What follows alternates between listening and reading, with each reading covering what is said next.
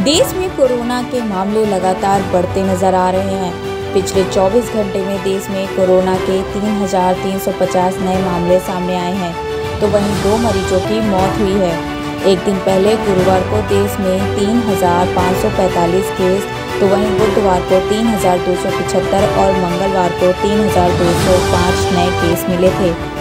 आपको बता दें कि राजधानी दिल्ली में कोरोना का कहर कम नहीं हो रहा।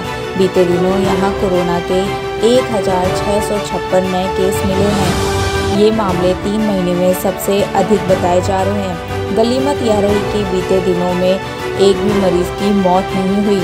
राज्य में पॉजिटिव रेट बढ़कर पाँच दशमलव तीन नौ दर्ज किया गया है।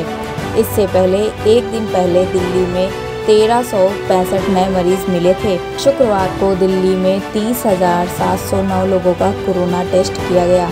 एक्टिव मामलों की बात करें तो यहाँ पर छः हज़ार छियानवे मरीज़ अपना इलाज करवा रहे हैं। आंकड़े के अनुसार, राजधानी दिल्ली में अब तक कोरोना से छब्बीस हज़ार एक सौ सतहत्तर लोगों की मौत हो चुकी है। ब्यूरो रिपोर्ट आई